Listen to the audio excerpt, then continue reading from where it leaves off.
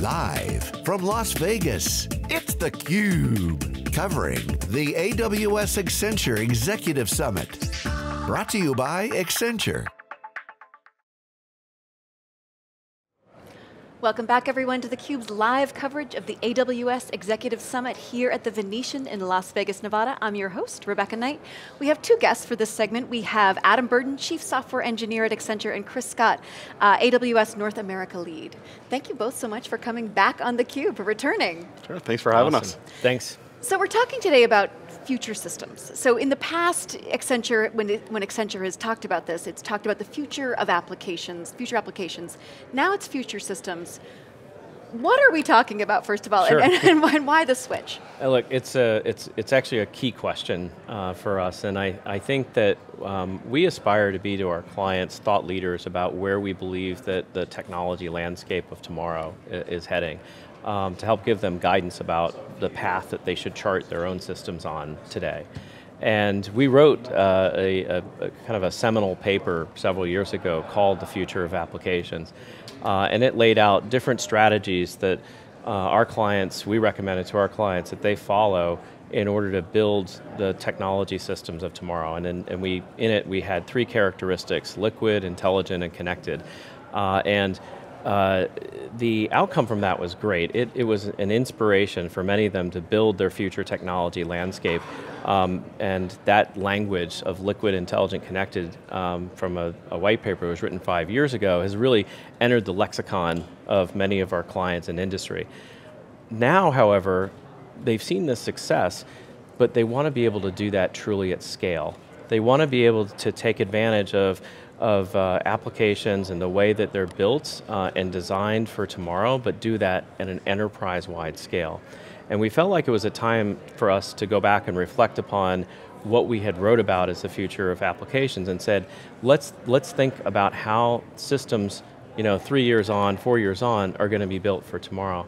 And that's exactly what we did in Future Systems. So Future Systems, you can look at it as a compass um, for how they'll continue to chart their path to be able to scale the new uh, and close something that we call the innovation achievement gap.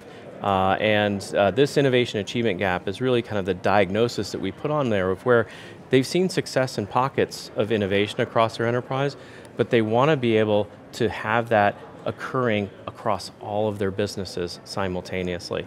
Uh, and we believe that you know, following some of the prescriptive advice that we provide in future systems, uh, that clients, our clients, would be able to do exactly that. So I want to dig into that research a little bit, and you, you said liquid, intelligent, connected, those really became part of the vernacular. Yeah. This year it's three new. Three, three new, ones. ones, that's right. Boundaryless, adaptable, and radically human. These are the characteristics that you say are the secret sauce uh, for a successful system. Right. So let, let's get into these a little bit. Let's start with boundaryless. Sure. Boundaryless is great to talk here about reInvent because it, it, really is all about cloud and how you use cloud. But before I get ahead of myself, really define what boundaryless is. It, naturally, it's about breaking down barriers between systems, between businesses, and between humans and machines.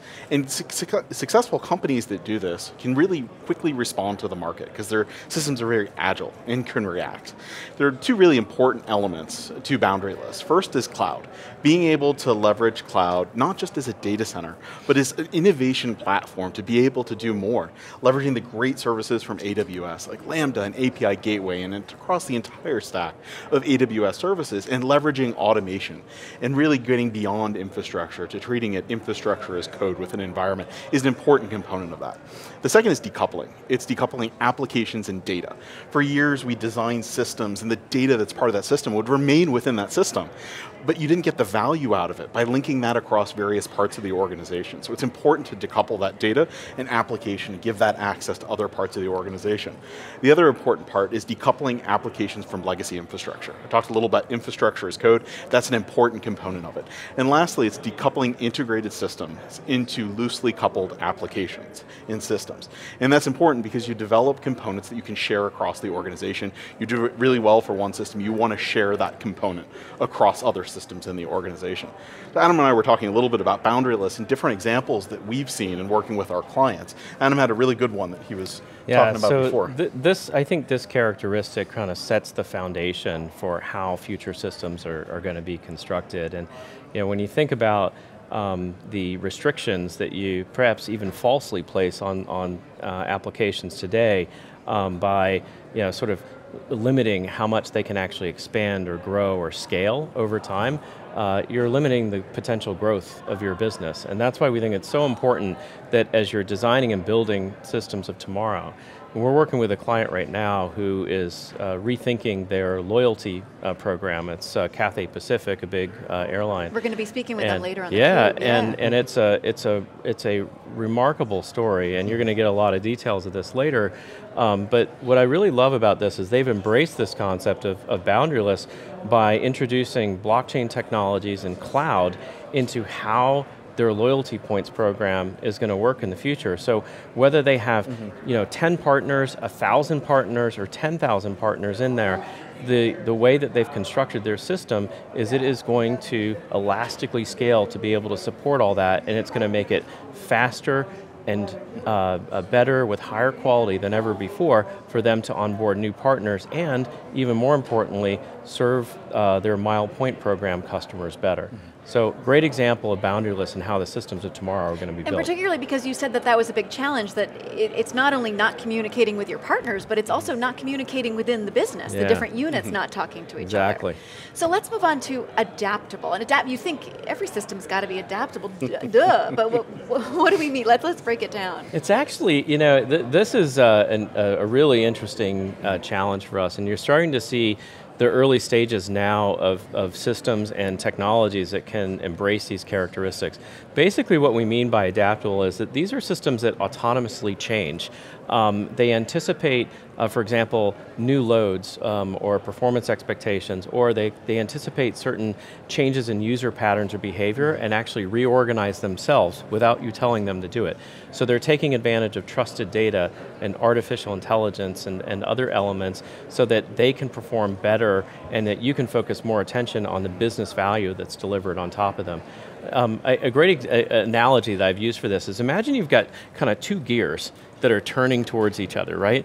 And one gear has like a really big tooth on it, and you can kind of see it coming, and it's going to wreck the other gear when it gets there. Well, imagine that gear sort of sees that coming and adapts and says, okay, I can make this you know, area wider, and that tooth will fit right in there that's what adaptable is all is all about. Is it's looking at what's happening around it and it's adjusting itself so it can perform better in the enterprise instead of falling over. And that makes your systems more reliable, it makes your customer experiences better, and allows you to have systems that will allow, make you one of these high performers of tomorrow. Ad anticipating and adapting. Anticipating yeah. and adapting, exactly right. Finally, the, the final characteristic, radically human. I love yeah. this. Um, define what it is, and then I want to talk about the, the kinds of companies that you've seen mm-hmm. do this do this best. Yeah, radically human. I, I love the term too. I, th- I think it's great. It's really about creating systems that are simple, they're elegant, but they're also immersive to our customers. Natural language processing, computer vision, machine learning are all important components. And it's really about how these systems listen, they see, they can adapt, they understand what's going on, just like people do. It's interesting that, that technology has become so invasive in our lives, but it's also become invisible. And It's woven into the fabric of what we do with digital assistants and all the things that are out there today. It's such an important part of what we do. Uh, so it's important to create systems that are aligned to the users. And this has created an interesting inversion uh, you know, we would design systems in the past that would, that would gather requirements, and then eventually when the system went live, you'd have to train all of the users how to use that system, and you would have to adapt the user to the system. Now what we're talking about is developing systems that can adapt to the adaptable point that Adam mentioned, but really change to work better for the users. We were talking a little bit before as well about Amazon Connect, and a great example of this is leveraging Connect and omni-channel capabilities to allow customers to interact with customer service and businesses the way they want to interact, whether that's via phone or through online or text message. Find the right medium to get them the right answers as fast as possible. You know, a great example of this is a client that we're working with, Mutual of Omaha, who's going to be here on theCUBE, and we've done a breakout session with them. They've been through this whole journey, and they've really gotten much better customer engagement through this.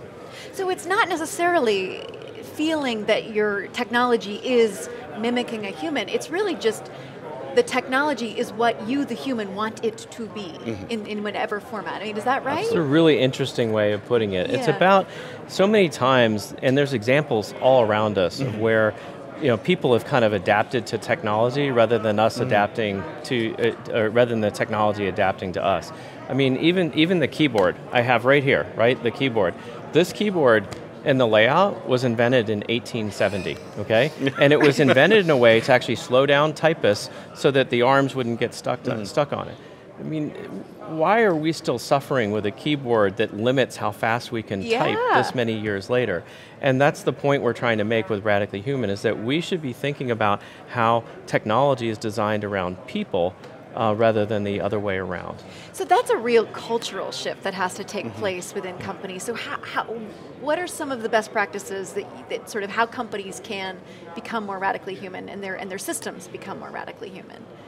Well, I have. I mean, uh, look, uh, there's there's human-centered design uh, is is a really important aspect of it, and there's some a lot of great emerging thought um, in that space. We think that design thinking contributes a lot to absolutely. kind of really thinking from the very beginning about how how do we uh, how do we build applications or technology systems in the future that are going to work with people. So it's human plus machine, not human versus machine.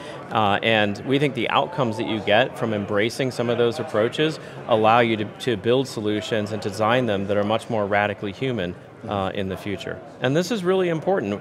You're going to be more productive, more effective, your workforce is going to be happier, your customers are going to be happier, and they're going to be more engaged. And there's a paradox here too, is that the more we do this, actually the less you'll see of the technology. Uh, and it, because it'll become embedded in the things around us. So maybe I've actually I've, I've written some things in the past that says AI is the new UI and, and the end of screens, right? So maybe it doesn't really mean the end of screens, but we're going to see a lot less screens because it's easier for people to hear information uh, sometimes than it is to actually see it. Right. I this is really fascinating stuff. Thank you both so much for coming back on theCUBE for these, this great conversation. We're Rebecca. happy to. Thank you, Rebecca. Adam and Chris, thank you. Thank you.